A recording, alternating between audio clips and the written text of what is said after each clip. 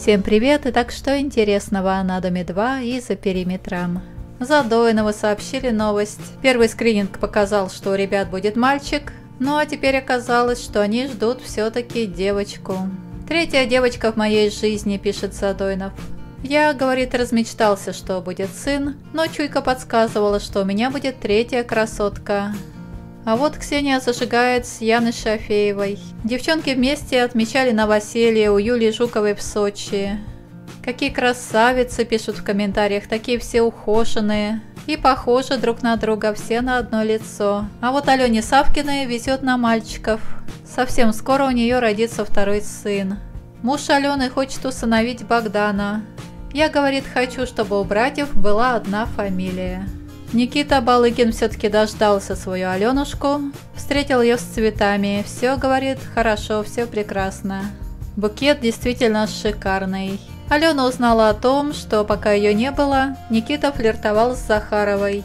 Планирует теперь провести между ними очную ставку. Алена лишний раз убедилась, что на проекте подруг быть не может. Она не подпускает так просто и быстро к себе людей и правильно делает. Полину Малинину выгнали с проекта большинством голосов, хотя, возможно, она просто ушла в отпуск. Малинина радуется возможности побыть дома, встретилась вот с Яной Африкантовой. Полина первый раз в жизни проехала на метро в Москве. Она гордится с собой, справилась с задачей и доехала до места назначения. Яна Захарова выезжала в ночной клуб и вернулась оттуда в компании Брянской и ей удалось помирить Аню и Алексея. Они были на веселе и легко пошли на сближение.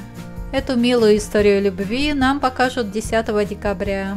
Но руководство Дома 2 Аню на проекте не оставило, что очень огорчило Алексея. Безус рассказал, как будет проходить голосование в конкурсе «Квартирный вопрос». Нужно зарегистрироваться в приложении, заплатить полтора доллара за открытие кошелька, а затем перевести любимому участнику одну малинку.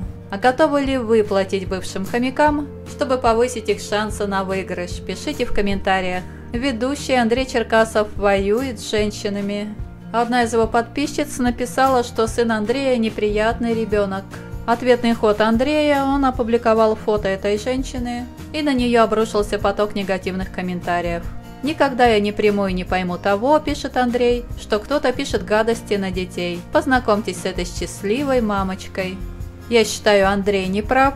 Если он желает только хвалебных отзывов о сыне, то пусть сделает отдельный аккаунт для родных и близких. А если уж сделала ребенка товаром, то нужно быть готовым к любой критике. Николайчук и Горина планируют поездку в Уфу. Будут отмечать Новый год в компании Мадан и Моргенштерна. На вопрос о том, хотят ли ребят детей в ближайшее время, Артур говорит, что ему всего 24, торопиться не стоит. Сначала нужна хорошая финансовая подушка за периметром, но все обязательно будет. Кристина Бухенбалта показала маму. Женщине 45, она прекрасно выглядит.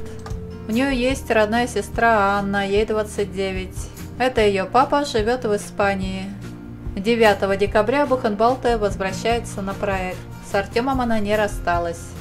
В то время как у Алены Опенченко заблокировали ее аккаунт в Инстаграм, Надя Ермакова радуется миллиону подписчиков. Теперь она блогер-миллионник. Это так круто, пишет. Я мечтала об этом моменте. Надеюсь, это не предел. Аганесян публикует фото своих любимых женщин. Пишет, я их люблю больше жизни. Он со страхом вспоминает далекие смутные времена. Да, было время, когда нужно было выбирать между матерью и женой. Были конфликты, но теперь все прекрасно. Посмотри внимательно на мать, пишут ему. Довели женщину всего за год. Кстати, Аганесяны переезжают на новую квартиру, и родители с собой теперь уже не берут. Говорит, либо они останутся в Кущевской, либо будем снимать для них еще одну дополнительную квартиру в этом же районе. Настя Райнашвили рассказывает о своих планах.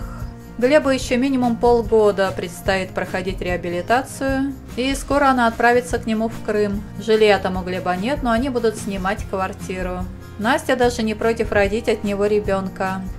Ольга Игоревна отправилась на съемки белорусского музыкального шоу. Фанаты разглядывают морщины на ее лице и складочки на талии. Все как всегда. На этом все. Подписывайтесь, будем сплетничать.